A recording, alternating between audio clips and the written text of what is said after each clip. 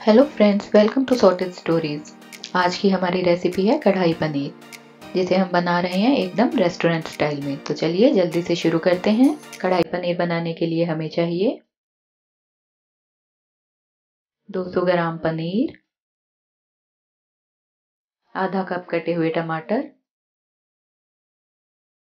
तीन चौथाई कप कटे हुए प्याज, आधा कप कटी हुई शिमला मिर्च इसके लिए हम कुछ साबुत मसाले ले रहे हैं, जैसे तेज पत्ता, साबुत धनिया, जीरा, कश्मीरी लाल मिर्च, दालचीनी, लौंग और हरी इलायची। नमक हम स्वाद अनुसार लेंगे।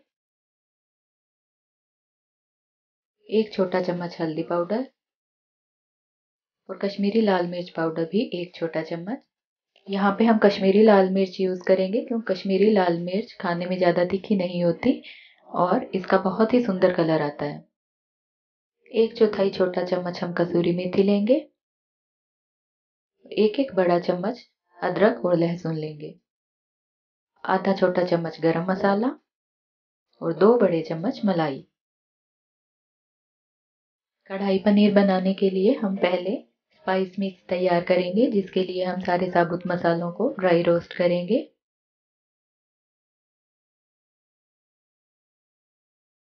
हमें इसे तब तक रोस्ट करना है जब तक कि इसका कलर चेंज होने लगे और इसमें से अच्छी सी खुशबू आने लगे।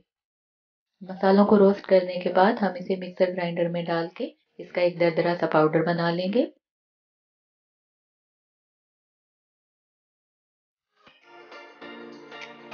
स्पाइस मिक्स तैयार करने के बाद हम एक कढ़ाई में घी या तेल गरम करेंगे।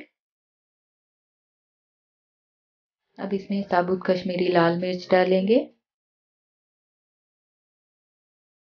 आधे प्याज डालेंगे, जो हमने इनिशियली प्याज लिए हैं, अभी उसमें से आधे प्याज ही हमें यूज़ करने हैं।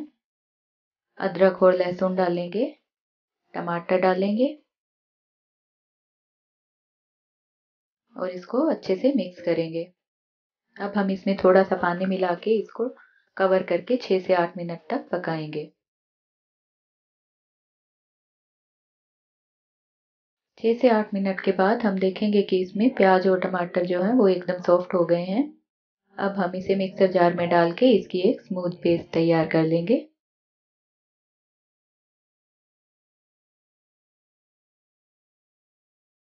इधर हम एक कढ़ाई में तेल गरम करेंगे। हमें यहाँ पे तेल एकदम हाई टेम्परेचर पे चाहिए मतलब एकदम खोलता हुआ तेल हमें चाहिए। अब हम इसके अंदर कश्मीरी लाल मिर्च डालेंगे। पनीर डालेंगे, शिमला मिर्च डालेंगे, प्याज डालेंगे और इसको हाई टेम्परेचर पे कुछ देर के लिए पकाएँगे। हम इसको तब तक पकाएँगे जब तक कि हमारा पनीर गोल्डन टर्न ना होने लगे।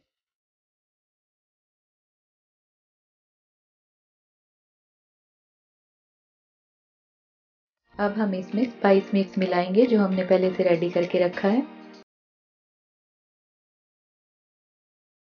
नमक मिलाएँगे।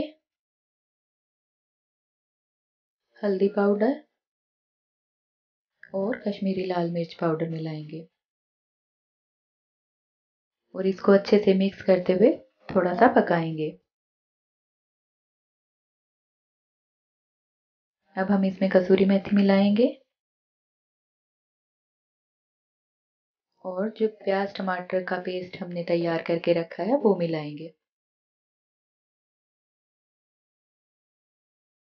उसके बाद हम इसमें मलाई मिला के इसको अच्छे से मिक्स करेंगे और कुछ देर तक पकाएँगे।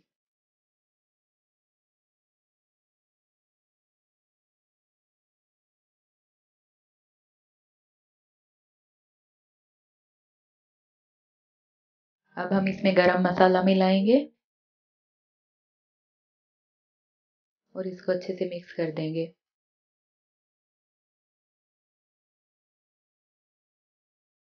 और इसे कवर करके कुछ देर तक और पकाएँगे।